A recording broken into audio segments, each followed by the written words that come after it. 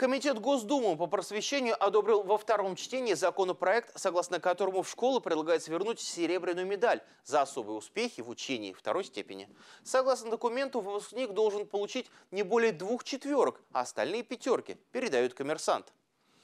Еще одна поправка – изменение названия дисциплины ОБЖ на основы безопасности и защиты Родины. Также вводится занятие по профориентации, которые, согласно мнению авторов, помогут школьникам выбрать профессию, например, за счет экскурсий на предприятие.